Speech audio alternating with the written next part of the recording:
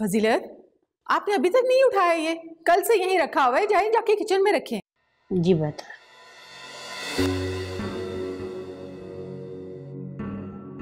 तुम?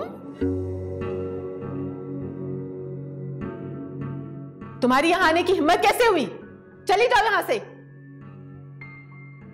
रुमाना मैं मैं तुम लोगों से शर्मिंदा हूँ। मैं तो बस ये कहने आई हूँ कि बस। मुझे कोई बात नहीं सुननी तुम्हारी। अभी और इसी वक्त चली जाओ यहाँ से। कोई ताल्लुक नहीं है हमारा तुम्हारा। अब ताईजान प्लीज़ आपको कुछ नहीं मालूम आप मेरे साथ आए मैं आपको बताता हूँ। लेकिन सारे एक मिनट फजीले बीबी आप सैदा आंटी को माँ के पास ले जाए।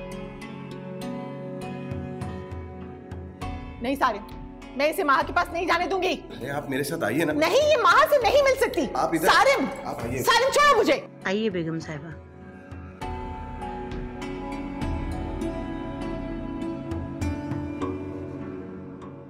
हाँ समीर साहब मैंने आपके मिसेस के बहुत अच्छी तरह चेकअप कर लिए। कुछ टेस्ट हैं वो आप करवा लें। ये टेस्ट की रिपोर्ट आने के बाद ही हम सजेस्ट कर सकेंगे कि इनको ट्रीटमेंट की ज़रूरत है या नहीं।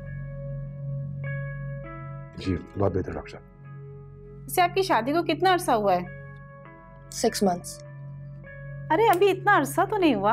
आप अभी से परेशान हो गई। डॉक्टर साहब मैं भी एक्चुअली इन्हें यही समझा रहा था लेकिन देखें डॉक्टर आपको जो भी इलाज करना है आप करें। मुझे जल्दी है। I just want to be a mother okay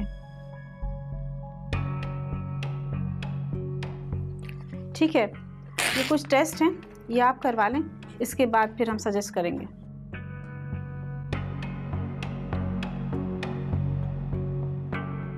माँ बीबी बेगम साहिबा आपसे मिलने के लिए आई हैं। सालिम साहब ने कहा कि इन्हें आपके पास ले जाऊँ। जी ठीक है आप जाइए।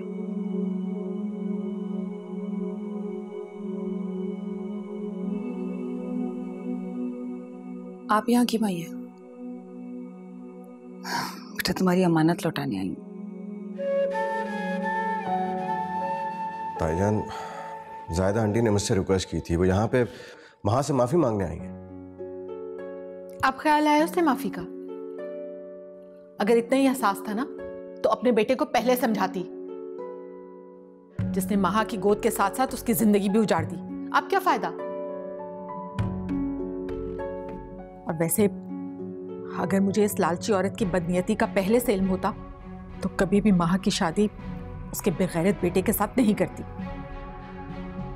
और अब तो रियाज, सारी ज़िंदगी मुझे माह की बर्बादी का ताने देते रहेंगे। उसका कसूरवार समझेंगे वो मुझे। हालाँकि मेरा कोई कसूर है ही नहीं। अच्छा छोड़ें, जाने दें इन सब बातों को। गुजर गया वो वक्त। माँ के आने वाले दिनों की उसकी खुशियों के लिए दुआ करें प्लीज़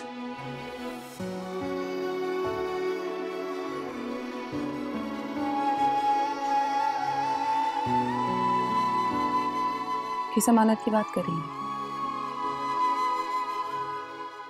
बेटा, ये वो ज्वेलरी है जो तुम्हारी अम्मी की थी और तुमने अमानतन मेरे पास रखवाई थी। और मैंने तुमसे झूठ बोल दिया था कि वो मैंने बेच दी।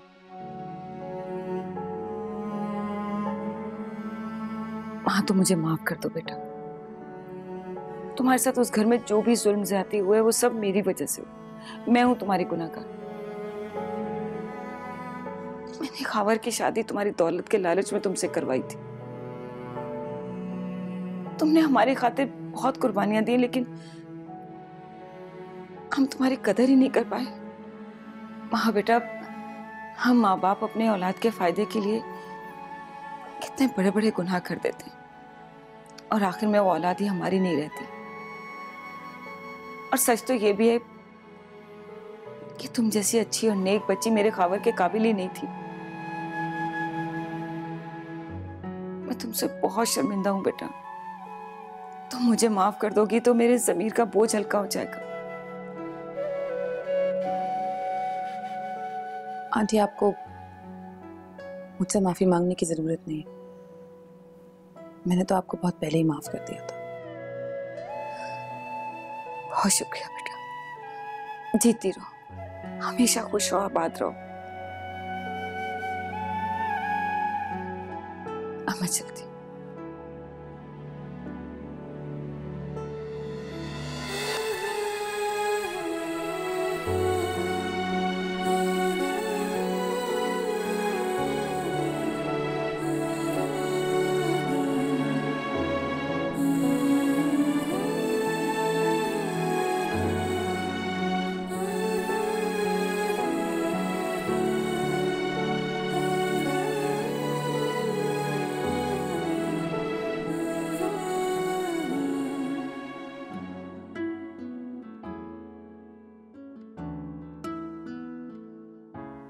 आज मैं बहुत खुश हूँ, माँ। क्योंकि अब तुम मेरी ज़िंदगी में आ गई। तुम नहीं जानती, मैं हमेशा से तुमसे प्यार करता था।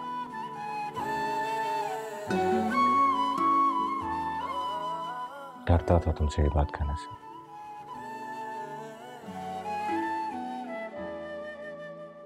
कि तुम मुझे एक दोस्त की तरह लेती हो और मेरी बात सुन के मुझसे अपनी दोस्ती खत्म कर दोगी।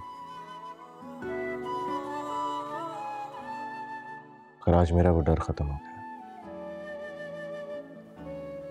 आज मैं बेखौफ होकर तुमसे ये कह सकता हूँ कि मैं तुमसे बहुत प्यार करता हूँ और हमेशा करता रहूँगा। और तुमसे आज ये वादा करता हूँ कि तुम्हें हमेशा खुश रखूँगा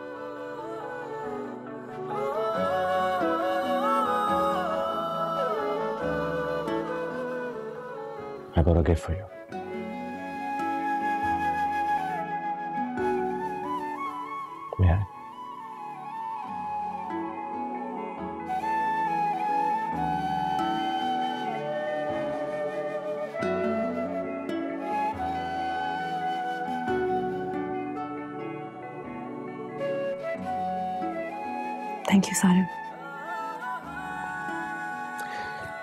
You for being in my life.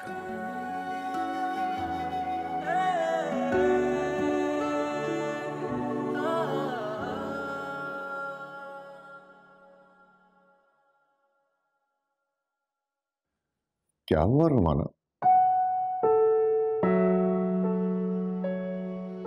आज तो खुशी का दिन है तुम उदास बैठी हो। आज तो माँ की ज़िंदगी के तमाम दुख खत्म हो गए जी बस ऐसे ही मीरब की याद आ गई थी।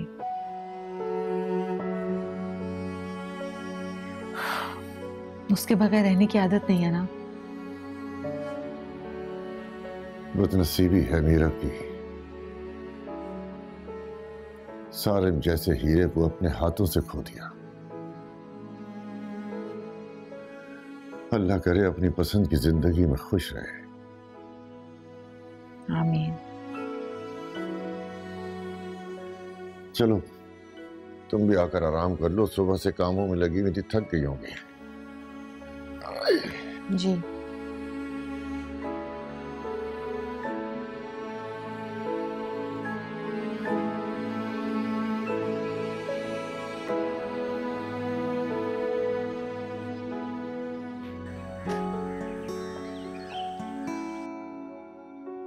समीर आई एम रेडी चले? आ, अब उसमें चाय खत्म कर चेंज करता हूँ फिर चलते हैं। ओके चाय पी लो तुम भी हाँ? मैं लेके आती हूँ।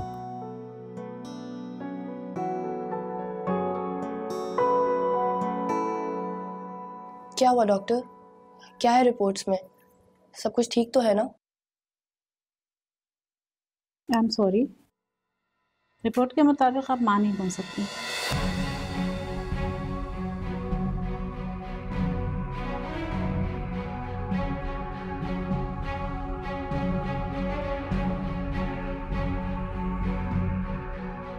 डॉक्टर साहब ये, ये आप क्या कह रही हैं? समीर साहब मैं आप लोगों का दुख समझ सकती हूँ।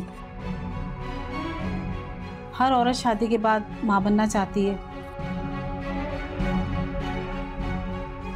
लेकिन हम खुदा के फैसलों के सामने मजबूर हैं। लेकिन उसकी ज़ात से मायूस नहीं हो सकते। वो कभी भी अपने बंदों पर मेहरबान हो जाता है।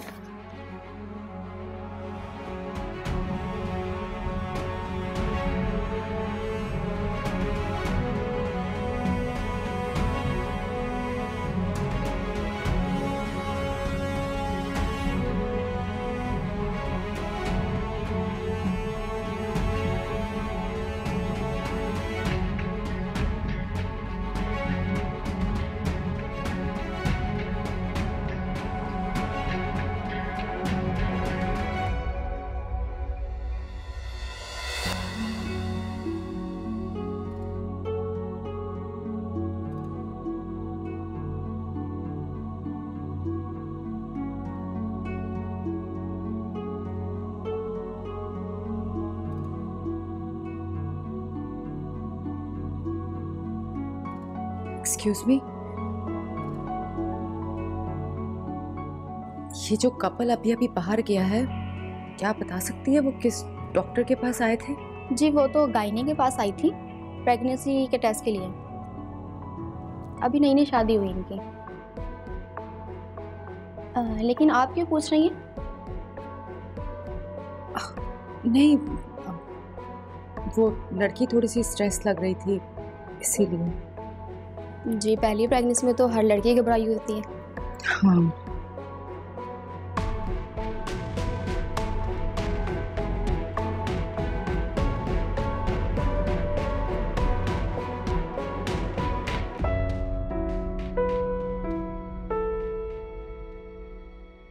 जब देखो, तुम प्लीज़ ऐसे रो मत। किसी और डॉक्टर से कंसल्ट कर लेते हैं। मैं मैं तुम्हें किसी बेहतर हॉस्पिटल ले जाता हूँ सब ठीक हो जाएगा। कुछ ठीक नहीं हो सकता समीर। कुछ ठीक नहीं होगा। डॉक्टर ने साफ़ मना कर दिया है। मैं कभी माँ नहीं बन सकती।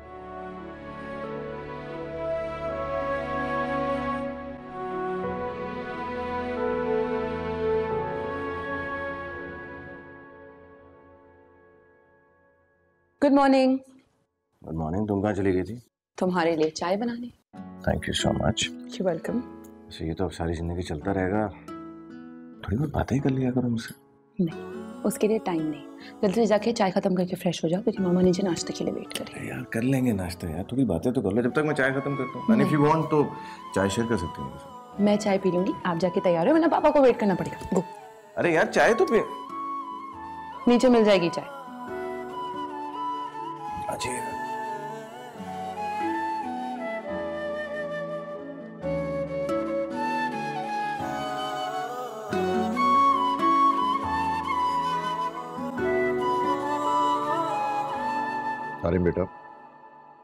मैं सोच रहा हूँ, कुछ दिनों के लिए तुम दोनों कहीं घूमने फिरने का प्रोग्राम बना लो। ऑफ़िस की जिम्मेदारियाँ तो कभी खत्म नहीं होंगी, इसलिए तुम ऑफ़िस से ऑफ़ ले लो और ऑफ़िस की फ़िक्र नहीं करना। ऑफ़िस का काम मैं खुद संभाल लूँगा। अरे नहीं तायाजन अभी नहीं, अभी वहाँ का एक प्रोजेक्ट चल रहा है, वो खत्म हो जाए, उसके बाद प्रोग्राम बना लो। ठीक है बेटा, जैसे तुम्हारी खुशी। पर जब प्रोग्राम बना लो ना तो मुझे बता देना। फ़िलहाल तो मुझे तुम्हारी रिसेप्शन के अरेंजमेंट करने की फ़िक्र है। आप इसकी फ़िक्र बिल्कुल मत कीजिए, मैंने सब मैनेज कर लिया। अरे थैंक यू बेटा। तुमने तो खुश कर दिया। मुझे बड़ी टेंशन हो रही थी।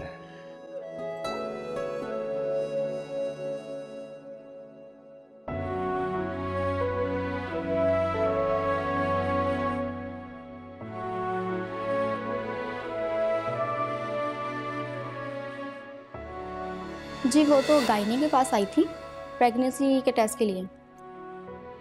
अभी नई नई शादी हुई इनकी।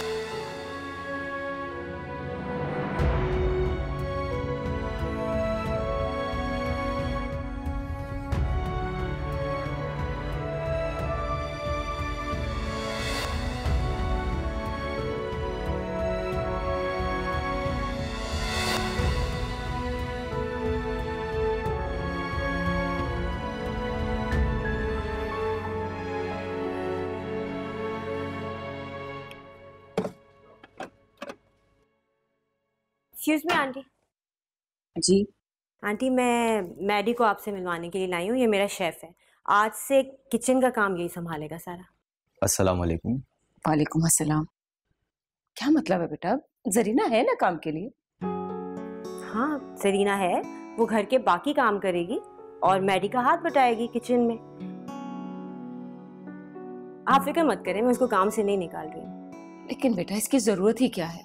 वो इतने सालों से काम कर रही है, कभी उसने शिकायत का मौका नहीं दिया तो फिर ये भी आपको शिकायत का मौका बिल्कुल नहीं देगा। ये बहुत ही अच्छा खाना बनाता है, हाइजीनिक खाना और डाइट भी। देखिए आंटी, मैं ये सब कुछ आप लोगों के लिए कर रही हूँ, आपकी हेल्थ के लिए। मेरा भी घर है ना ये? है ना मेरा घर? चल मैडी आओ। मैं तुम्हें कुकिंग एरिया दिखाती हूँ। आ जाओ। फॉलो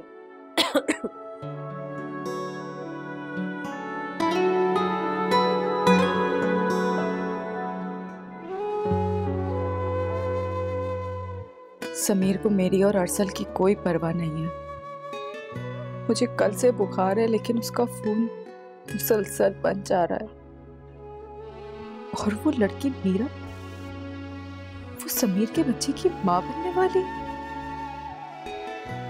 पहले उसने मुझसे समीर को छीना अब अरसल को भी उससे दूर कर रही है। अगर मैं ऐसा होने नहीं दूँगी।